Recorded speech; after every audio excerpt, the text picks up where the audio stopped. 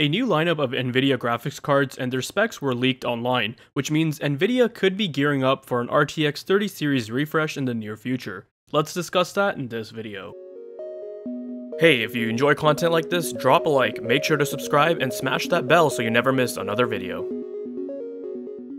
Hey, what is going on guys? Danny here, welcome back to the channel and I hope you've all been doing well. For this video, we'll be discussing the recent leaks surrounding some new upcoming GPUs from Nvidia, and I'll be giving you guys my thoughts on it, what I think about it, whether it makes sense, and if you'll even be able to buy one. On Twitter, Kopite7kimi, who's a very well-known hardware leaker and has a good track record for Nvidia leaks, posted some models along with their specs. These are going to be super variants of the RTX 30 series, and they're going to be bringing with them some minor upgrades over the original lineup. We don't have too much info on Nvidia's next-gen Ada Lovelace or RTX 40 series GPUs, but according to some of the rumors that are going around, they're slated for a Q4 2022 launch, so in the meantime, as a stopgap solution, Nvidia is looking at refreshing the current lineup of RTX 30 series GPUs as these super variants. At the top, we've got the 3090 Super, which I had already covered in a previous video and wasn't really too thrilled about. It'll have more CUDA cores than the vanilla 3090, slightly better VRAM, and that's really about it. In fact, those are the same kinds of changes you'll see for the rest of the SKUs. I don't really see it being noticeably faster, and I'm sure given the current circumstances, it will come with a hefty price tag.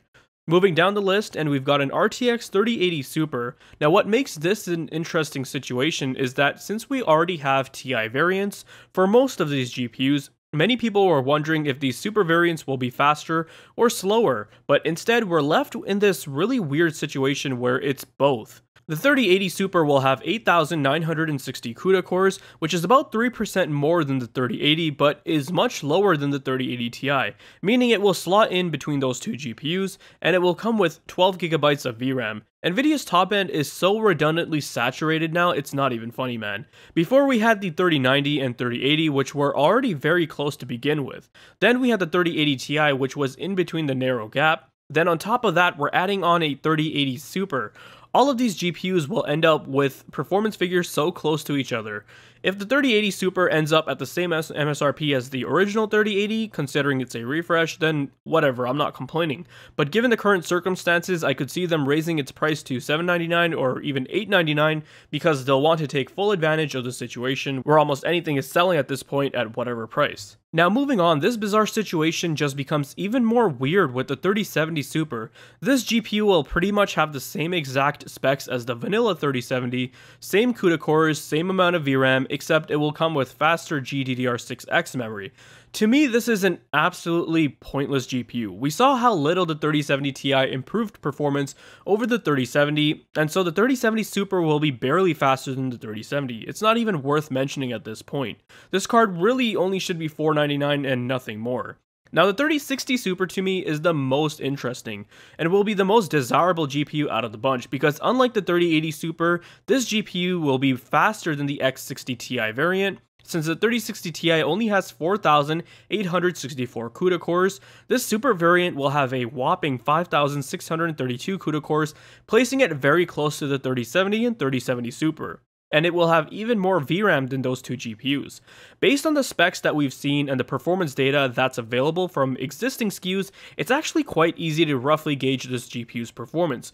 I'm pretty sure this 3060 Super will end up performing nearly identically to the 3070 in the vast majority of titles out there, and perhaps it might even do somewhat better in some cases at 4K due to the larger memory buffer. If Nvidia comes out with the 3060 Super, refresh and prices it at the same price as the 3060 Ti or even for like $30 more, then I think this will be an excellent bang for the buck GPU given the current market landscape. I reviewed the 3060 Ti when it came out and I was impressed by its performance as it was able to match the previous gen RTX 2080 Super or even exceed it in many games. So for 1080p and 1440p gaming, it'll be an excellent gaming GPU.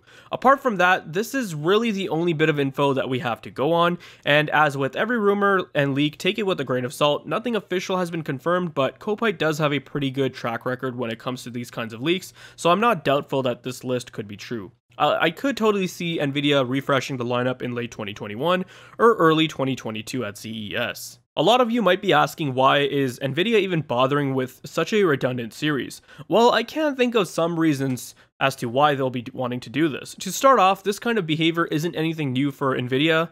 They've been releasing these kinds of SKUs and saturating the market with previous generations, and they're already doing this with the current generation, i.e. 3070 Ti, 3080 Ti, now, if they're going to be releasing the Super Series of cards alongside current SKUs, meaning they're not going to cease production of the 3080 or 3070, then that's actually great news for gamers as this will create more supply to meet the insane level of demand the market is experiencing. Along with that, unlike AMD, who has to rely on TSMC to manufacture the chips and are competing with other companies like Apple and Qualcomm, Nvidia is actually able to ship a lot more volume due to solely relying on Samsung's 8 nanometers. Even if AMD had somehow managed to beat them on performance or features, Nvidia can easily just ship out more volume to make up for that loss. On the other hand, if Nvidia decided that now we're just going to be focusing on the refresh series because we can price them higher and therefore increase our profit margin, then that could be problematic for gamers as it will result in higher prices.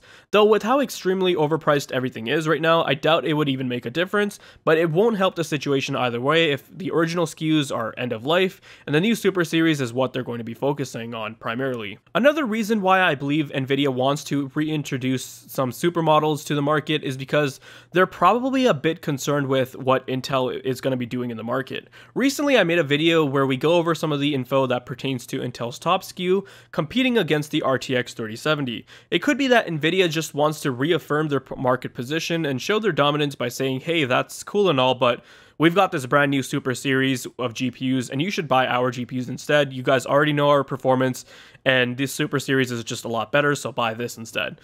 And hey, I guess as consumers, we can be kind of glad that this is happening due to competition. Competition is great for everyone in the market. It will be eh, very interesting to see how this plays out next year and how the market changes with a third player.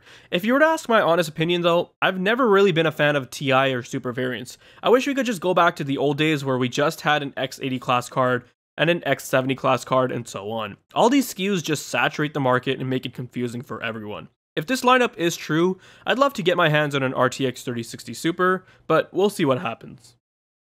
I hope you guys found this video to be informative and helpful. Let me know your thoughts down below. Check out the video description on ways to support the channel and for my other videos. If you guys are interested in more content like this, then make sure you're subscribed. Thanks for watching, take care, and I'll see you guys in the next one.